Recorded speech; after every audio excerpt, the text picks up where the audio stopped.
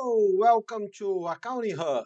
I'm Professor George Scarpin, PhD in accounting, and today our topic is cost volume profit analysis for multi-product companies.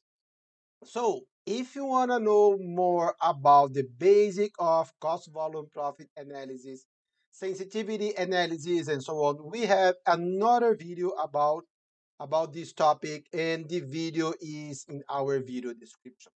So here we will move from cost volume profit for one product to more than one product. Okay. What, what is it? It's changing sales mix. So what is sales mix? Combination of products that make up total sales. All less, all else equal, oh, hard expression. Company earns more operating income by selling a high contribution margin products. And we work with the concept of weight every contribution margin. Weight each contribution margin by the relative numbers of number of units sold. So let's go to our Excel file. It's much easier to work from there. Uh, and just to and remind you, if you are a regular follower of our channel, you already know that. But if you are a new one, all of our Excel files, they are available for free and the link to download it is in our video description.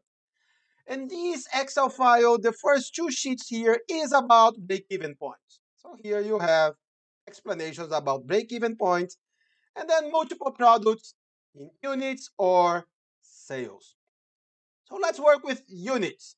So we have here five products with this uh, selling prices and variable costs and the contribution margin. Selling price less variable costs. Let's copy and paste here. And what is the most important topic of multi-product uh, analysis is the basket. What is the basket? We can do it in a multiple ways. The way that the companies usually do it they copy and paste the actual sales of the previous periods or average of the previous year and so on. Or just like I did it, work with proportion. So when we sell four products, one, we sell two products, two, three products, three, five products, four, and six products, five, for instance. Or if our uh, sales is 10,000 times more than that, Let's do it, for instance, oops, 40,000 units, 80,000 units, 30,000 units, 50,000 units, 60,000 units. We will have the same, the same results. And but let's work with this one and then we go back to the old numbers. Let me format it here. Oops. Here. Oh man, format here, format here. And we sum our baskets. So let's sum it. 200,000 units. The contribution margin, the total contribution margin, unit contribution margin times number of units in basket. And we copy and paste here. And the sum, we also sum it. And how do we do the weight average contribution margin per unit? Contribution margin dividing by the sum of our baskets. 71 per unit. Fixed costs, remember the formula of break-even point. Fixed cost plus operating income, here we want an operating income equals to nothing, divided by contribution margin per unit. A little bit more than 2,900 units. What if we go back to our previous numbers? 4, 2, 3, 5, 6.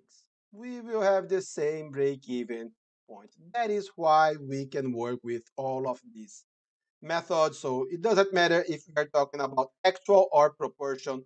Our break-even point will be the same. However, okay, yeah, 2,800 units, but units of product 1, 2, 3, 4, or 5. Then we go back to break-even sales units per product. We do it based on proportion of the units in the basket. For instance, 4 in 20 it's uh, 20%. So 20% of this number will be for product 1.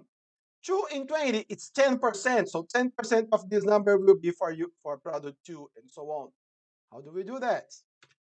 Equal break-even point divided by 20 times 4. So 10%, 563. And here we come back here. This one we fix it, this one we fix it. And copy and paste. We will have our numbers. And if we sum them,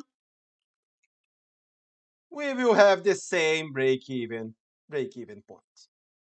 Okay? But that doesn't make sense in real life company because while this mix here is changeable and it's very hard to create some target uh, for our marketing department and so on. So for multi-product companies, usually what makes more sense is to work with the break-even point in sales or in revenue or in dollars. Let's do it. So we have here the same numbers, the same units in basket. What do we have? Say, and now for units, we need only contribution margin. Here we need sales, variable cost, and contribution margin. So sales, 120 times 4. Let's fix this for only the row. Contribution margin, copy and paste. Or sorry, variable cost we copy and paste. Contribution margin, 120. That is the same 120 here, by the way. Now we can copy and paste this formula to all of our products. So 120, 200, 240, 500, 350. 120, 200, 240, 500, and 350. We have the same numbers. Course, because we are working with the same numbers. And we sum only our money. We don't sum our units anymore. So sum of sales, sum of variable costs, contribution margin, or we can sum our contribution margin. How do we find our break-even point in dollars? Fixed cost divided by contribution margin ratio. So we need to find our contribution margin ratio. That is this yellow cell here. Contribution margin divided by sales. So almost 32%. Fixed cost, 200, break-even point, fixed cost plus operating income, we have no operating income here, divided by contribution margin. So a little bit more than $626,000.